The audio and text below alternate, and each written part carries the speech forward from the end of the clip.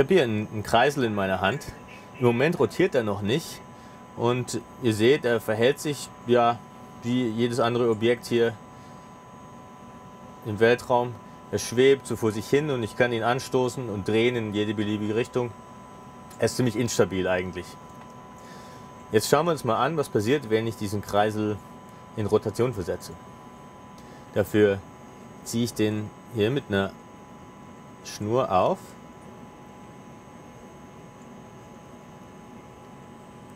Und bringe ihn dann ganz fix mit einem schnellen Zug an dieser Schnur in Rotation. So, jetzt dreht er sich. Auf den ersten Blick sieht es relativ gleich aus, aber man merkt den Unterschied, wenn man anfängt, ihn ja, versuchen zu drehen. In diese Richtung kann ich den Kreisel parallel zur Drehachse relativ einfach drehen. Zumindest das Gehäuse des Kreisels. Wenn ich nun aber versuche, ihn in diese Richtung zu drehen, dann wird er störrisch. Er mag nicht.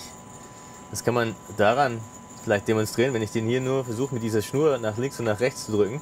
Ihr seht, er verhält sich relativ erstaunlich. Und eigentlich würde man denken, er kippt, wenn ich ihn nur auf der Unterseite mit dieser Schnur hin und her drücke.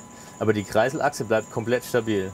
Das heißt, ich kann ihn ja, ganz einfach nach links und nach rechts schieben. Aber die Kreiselachse kippen das schaffe ich fast nicht.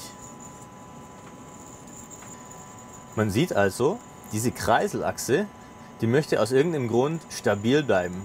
Die wehrt sich dagegen, in eine andere Richtung gedrückt zu werden. Und das liegt daran, dass die Rotationsachse von drehenden, sich drehenden Objekten sehr stabil ist. Wenn man es ausrechnet, dann kommt man darauf, dass die ISS ungefähr 4 Grad pro Minute nach vorne kippt, um eben einmal in 90 Minuten eine vollständige Drehung um sich selbst und um die Erde durchzuführen. Das heißt, wenn die Theorie stimmt, dann sollte dieser Kreisel äh, mit 4 Grad pro Minute ja, in eine Richtung kippen. Die ISS fliegt in diese Richtung und kippt gleichzeitig nach unten mit 4 Grad pro Minute. Das heißt, was wir hier eigentlich sehen sollten, ist dieser Kreisel nach hinten kippend mit 4 Grad pro Minute. So, ich werde jetzt eine Sache mal probieren mit diesem Kreisel, die vorher wahrscheinlich noch nie ausprobiert worden ist auf der Raumstation. Und zwar werde ich diesen Kreisel an der Schnur aufspannen, sodass er sich trotzdem noch frei bewegen kann, hier mitten in der Kabine und dann mal schauen, ob man vielleicht daran die Rotation der ISS um ihre 4 Grad pro Minute nach vorn sehen kann. Ich habe keine Ahnung, ob es klappt, bin aber schon mal sehr gespannt. Wir betreten wissenschaftliches Neuland.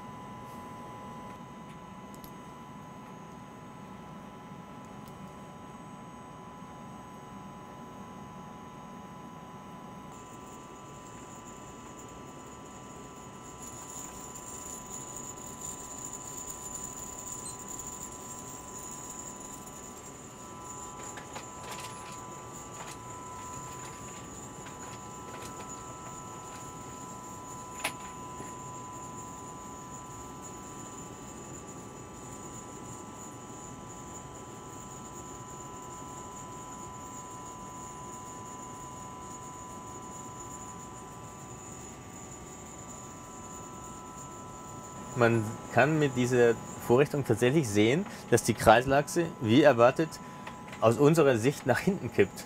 In Wirklichkeit ist es tatsächlich so, dass diese Kreiselachse stabil ist, während die gesamte Raumstation um die Erde kreist und dabei nach vorn kippt mit 4 Grad pro Minute.